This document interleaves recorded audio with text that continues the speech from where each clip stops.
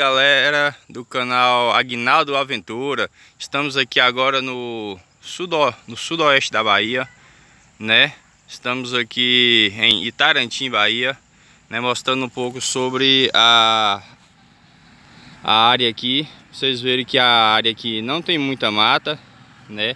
A área aqui é mais pasto, né? Então o pessoal aqui trabalha muito aqui com gado de leiteiro, né? E também com gado de corte também. Aqui vocês verem, né? Aqui é um pedaço da cidade de Tarantim. Ali, né? É a pedra de três pontas, né? Se vocês forem olhar bem, tem o formato de o rosto de um índio, né? Pois aqui também é terra indígena também, né? Ao, ao redor da cidade.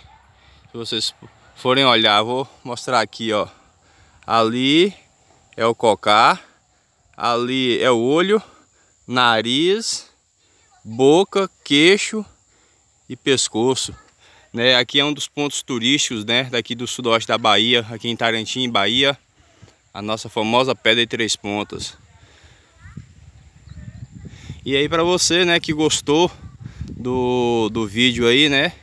Compartilhe dá um like aí para ajudar no canal.